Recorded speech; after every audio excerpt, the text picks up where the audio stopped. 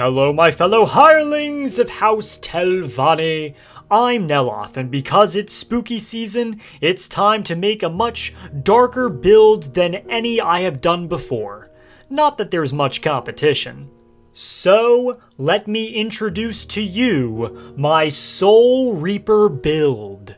This character grew up on the streets of Wayrest and was taken in by a necromantic cult where he became fascinated by soul gems and trapping the souls of others, especially people.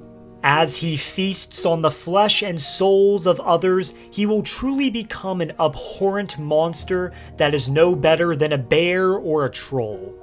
Before I begin, let me state as always that there are timestamps down below to make navigating this video much easier, and also note that this character should be seen as a template, and you should feel free to make any changes that you wish.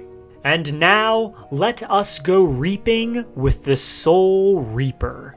Starting with the backstory.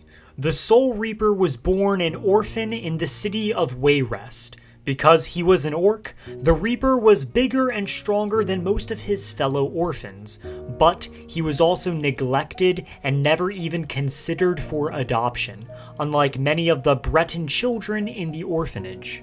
Because of this, he resented many of the children in the orphanage with the exception of one other child, a very skinny Khajiit boy with black fur and red eyes who also shared his disdain for the other children.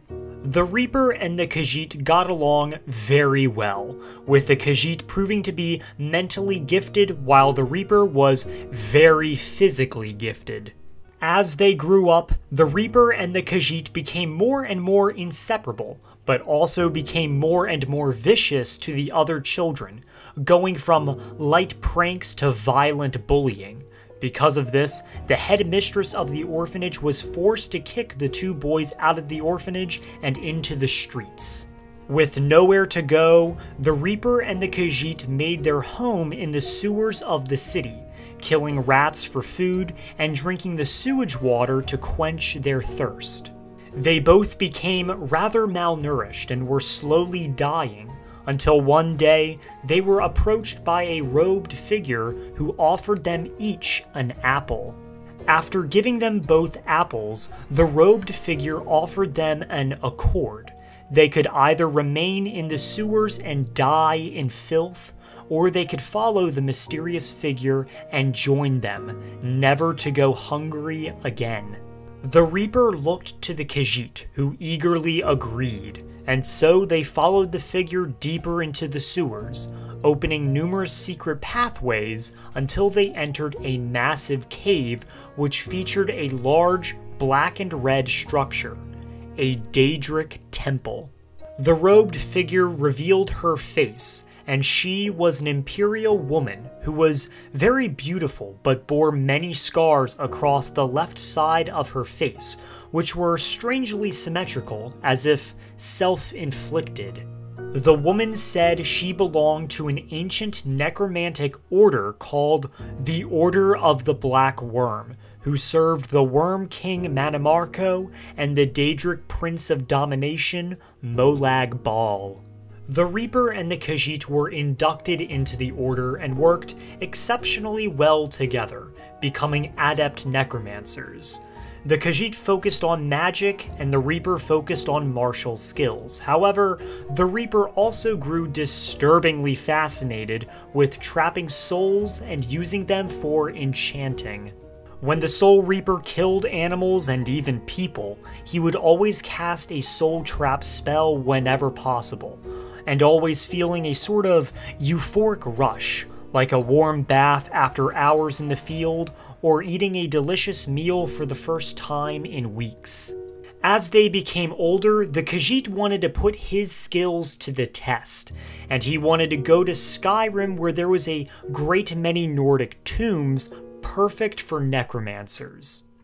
The Reaper came along to stay with his companion, but also because he wanted to visit the College of Winterhold, where he heard of a conjuration master who had a knack for trapping souls named Phinis Gestor. They made their way through the mountains and into the Pale Pass, where they were caught between a conflict between two large forces. The Reaper and the Khajiit tried to stand their ground. However, the Khajiit was killed almost immediately, an arrow right between the eyes, and the Reaper was brought down by multiple arrows in his legs and eventually fell unconscious. When the Reaper woke up, he was on a cart headed for Helgen. And you know the rest. And now for the role playing. The Soul Reaper is a morally evil character. However, he won't start off slaughtering and soul trapping everyone he sees. He may be a vicious necromancer, but he is still currently human. However, over time, once you have soul trapped enough people, feasted on enough flesh, and spoken to enough Daedra, you will become an absolute menace to society. When the Soul Reaper escapes Helgen, he is going to be very disoriented after seeing a dragon and angry at the death of his friend. He won't be starting the main quest immediately, not really caring for either Ralof or Hadvar, and will instead be making his way through Skyrim alone as a mercenary, helping people only for coin and also practicing his necromancy in his free time. Because of this, the Soul Reaper will join the Companions for Money and the College of Winterhold to learn more about conjuration and soul gems from Phinis Gestor, and those questlines can be played out at your leisure. However, I would recommend completing the companion storyline or at least becoming a werewolf before progressing to the more darker side of this character. The turning point for the Soul Reaper will be when he discovers the Dawnguard and their fight against the vampires. He will be less interested in the actual Dawnguard, but very intrigued at the vampires and how they are undead and immortal beings who are known to have an intrinsic understanding of necromancy. When the Soul Reaper rescues Serana and given the choice to become a pure blood vampire, he will accept the gift gladly, believing that becoming a vampire will give him more power and a deeper understanding of necromancy like never before. After becoming a vampire and completing the Volkihar questline, I would also recommend joining the darker factions like the Thieves Guild and Dark Brotherhood. However, when playing these quests, make sure to behave like a brutish thug who avoids stealth. After all, you're not a sneaky assassin, you fight head on. This means kill people in the Thieves Guild even when you're not supposed to. You may lose out on some pay, but money will not be a primary concern with this build. Also, with the Dark Brotherhood, always approach your victims and say the most sadistic dialogue options available to you. Then proceed to cleave them in half, or have an undead minion do the slaughtering for you. Just remember to always capture their souls. You may get high bounties in certain cities, but I feel that this can add to the role-playing as you become a true terror against all of Skyrim, but again, make sure you wait to do that until later in the game. The Soul Reaper should also enlist his services in the Civil War. Not because he has any allegiances for the Imperials or the Stormcloaks, but rather to enjoy the bloodshed and the mass amounts of souls that can be absorbed. It's up to you on which side to join, but keep in mind that the Empire doesn't hold any heavy hatred towards necromancers, and has even employed necromancers on more than one occasion. The Stormcloaks, however, could also be sided with to sow chaos and to take on a large establishment like the Empire. Whoever you side with, just remember that you can also slaughter your fellow comrades with very little repercussions. So go crazy. Now, you can avoid the main quest line to Skyrim altogether if you wish, as the story does make you out to be more of a hero than a villain. However, I believe the story is intrinsic to the character because as the Dragonborn, you are taking the souls of dragons. You can also do some horrible things like kill Paarthurnax and absorb his soul. You are the Soul Reaper after all. Now, the Dawnguard DLC is essential to this build to become a vampire and have access to Durnehviir and the Soul Tear Shout, but the Dragonborn DLC could also be done to acquire knowledge from Hermaeus Mora himself.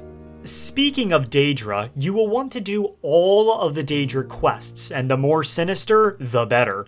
Especially the Molag Bal quest, which I would recommend aiding him in as it will be reminiscent of the Soul Reaper's time with the Worm Cult. Another essential Daedra quest will be Azura's quest in order to corrupt her star to get the Black Star. This will make stealing souls become so much easier and cost effective, and should be done as early as possible in the playthrough. The last Daedra quest will be Namira's to get access to Namira's ring, and will allow you to become a cannibal and eat those you have slain. I like to roleplay that you aren't just feasting on flesh, but also on the souls of your victim, truly personifying the Soul Reaper aesthetic. When you find yourself aiding citizens or not being a morally evil character, just remember that the Soul Reaper is not above manipulation, deceit, and betrayal. So, if you want to help out Bolli take a shipment to Markarth, that is okay, but you can always extract his soul as a bonus reward later. If you have the Winter Sun mod, I would highly recommend worshipping either Molag Bal or Mannimarco. I would personally recommend worshipping Molag Bal, as you will literally interact with him face to altar and become a part of a vampire clan that worships him. When it comes to housing, I have two recommendations. The Windstad Manor is a piece of land that can be purchased in Morthal, and the location and aesthetic works very well. I would also recommend the Creation Club house called Bloodchill Manor, which is perfect for any vampire and is quite cozy, but keep in mind you will have to go through two loading screens to get in. There is also the Gallows Hall Creation Club house, which is a necromancer themed lair. However, I feel that the place fucking sucks but maybe you would enjoy it far more than I. For companions, you will mostly be using undead followers, but I would also recommend having Serana tag along as you are both vampires. I would also highly recommend Kharjo, the only Khajiit companion in the game. The Soul Reaper may take him along as a reminder of his old necromancer ally he knew almost his entire life. Just remember when playing this character to soul trap as many people as possible and behave as an absolute menace to society. Now for the race, stats, and standing stone. So I made the Soul Reaper an orc, because orcs are great warriors and I wanted to have an outcast-like aesthetic. However, you can reasonably have the Soul Reaper be any race and also any gender. For stats, you will want to invest with a ratio of 1 in Magicka, 3 in Health, and 1 in Stamina. While the Soul Reaper will be using a great deal of Conjuration, that is the only magic school that will really be utilized. And once you combine enchanted items with Fortify Conjuration and Fortify Magicka, you will find magic investment becomes much a waste. So once you reach 200 Magicka, I would focus only on health and stamina. For standing stones, I would absolutely go with the Ritual Stone resurrecting five dead bandits and having them gang up on the bandit chief is an absolute blast, and it also fits the aesthetic and role-playing of this character, further increasing his necromantic powers. And now for the skills and perks. The Soul Reaper will be utilizing the skills Two-Handed, Conjuration, Heavy Armor, Restoration, Enchanting, and Smithing. I will now go over what perks I would recommend having in each skill at around level 40, and then explain my reasonings. However, some won't really need much of an explanation. For two-handed, you will want to get all levels in Barbarian, Champion Stance, Great Critical Charge, and Devastating Blow. This will be the main weapon skill of the Soul Reaper and will utilize his two-handed weapons in a horrible way to inspire terror amongst his foes. And also sprinting in with an attack and chopping off heads is just fucking sick. For Conjuration, you will want to get Novice to Expert Conjuration, Necromancy, Dark Souls, and Twin Souls. These perks should be obvious for a Necromancer character. We want to be able to cast Soul Trap for a low cost at early levels, and cast Summoning Undead spells more effectively at higher levels. For heavy armor, we will just want to have 5 levels in Juggernaut. The Soul Reaper won't really need any more investment because he is already a walking tank with his numerous allies, but additionally, the hood we wear is a clothing item and will negate most of the other heavy armor perks. However, if you want to replace the cool looking hood with a more practical heavy helmet like the Dragonbone helmet, you could invest more in heavy armor. Restoration will be utilizing the perks Novice and Apprentice Restoration, Restoration Dual Casting, Recovery, Respite, Regeneration, and the very powerful Necromage perk. This skill is mainly for support and used mostly in emergencies. Some passive perks like Recovery that increases Magicka regen will also be useful, but most importantly is the Necromage perk, which to briefly summarize, when you are a vampire and acquire the perk, all spells are effective against the undead, including you if you are a vampire, which this build is.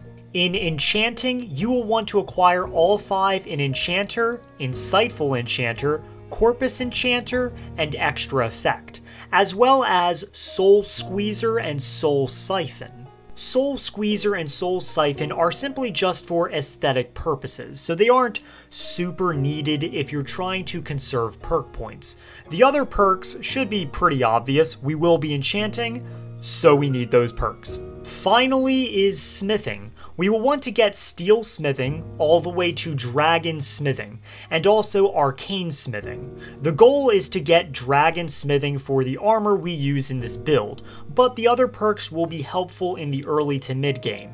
Arcane Enchanting is also great to temper the unique weapons of this build that I will go into now. For weapons, the Soul Reaper will be using two-handed greatswords. One of them is Umbra, added in the Anniversary Edition to Skyrim. Not only does this sword fit the aesthetic of the Soul Reaper and have a very interesting story, but it also has a soul trapping enchantment, which is perfect for the Soul Reaper, making soul trapping all the more efficient. The other weapon is added in the Anniversary Edition as well, and it is the Shadow Rend Greatsword. It is a powerful weapon with an enchantment that doesn't exactly fit the build, but the dark look of the weapon and the dark hue it emits whenever you unsheath it and swing it is just so fucking beautiful and fits the build perfectly. If you do not have the Anniversary Edition to Skyrim, don't worry because I would recommend switching two-handed for one-handed and using the Mace of Molag Bal. For armor, the Soul Reaper will be utilizing a full set of Dragon Plate armor, with the exception of the head, which will use the Masked Necromancer's hood added in the Anniversary Edition to Skyrim, which can be found in Ingvild's throne room. You could also use the Dragon Plate Insulated Armor, which is also added in the Anniversary Edition. However, I personally feel the armor doesn't fit the character all that well. For jewelry, the necklace will be up to you, but I would recommend the Bone Hawk Amulet enchanted with whatever you want. The easiest way to find this amulet will be in Lord Harkon's room in a locked glass container. And for the ring, we will be using Namira's ring as I mentioned in the role-playing, so we can get access to cannibalism, so we can eat the flesh of our fallen foes. In previous builds, I used to tell you explicitly how to enchant your armor, but I don't want to do that anymore. Instead, I believe you, the player, should do that yourself to make the build truly your own. Also, I feel like it's a waste of time for me to do so, so yeah. And now for the spells and shouts. For spells, the Soul Reaper will be really into conjuration, primarily using Soul Trap at early levels. However, conjuring whatever creatures you have on hand is also advisable. Just make sure to use undead summons more than Atronach summons. Summon zombie spells, the conjuration tomes in the Soul Cairn, as well as the conjuration spells added in the Anniversary Edition will be fitting, especially the Skeleton Champion and the fabled Bone Colossus. The only other spells outside of Conjuration that will be cast is any restoration spells in emergencies. However, you will likely find many health potions in your travels, and eating people also restores your health, so you shouldn't have to use spells in restoration that often. Now for shouts. There are actually quite a few shouts in Skyrim that work very well for necromantic characters. Drain Vitality, Marked for Death, Summon Durnehviir, and Soul Tear will all be good options to use consistently in combat, with the exception of Durnehviir, who should be summoned in much larger scale fights like in the Civil War. And now for the playstyle and combat. Now that we have everything all together, how exactly will this character be behaving in combat? Well, the playstyle is pretty simple. Throw some summons before engaging in combat, pull out your heaviest sword, hopefully Umbra, and go to town on those motherfuckers. And make sure to use the shouts I already mentioned in combat as well. I promise it will be much more fun, so please don't forget because I consistently do. Also, make sure to use the Ritual Stone to its fullest capabilities by slaying multiple lower level enemies and then activating the power to have a full army at your disposal, on top of your undead allies Kharjo or Serana, and an undead looking dragon will be very helpful in combat. And I briefly went over this in the roleplay section, but I'll reiterate it. At higher levels, when you inevitably get caught murdering people for the Dark Brotherhood, never surrender or pay a fine. And just massacre all the guards and make sure to become an absolute terror to all in Skyrim and live up to the legend of the Soul Reaper. But as I said, always do this at a higher level because you don't want to miss out on a lot of the content that is in Skyrim. And that is all I wrote, a necromantic themed warrior build that is perfect for the Halloween season, and also just an overpowered build in general.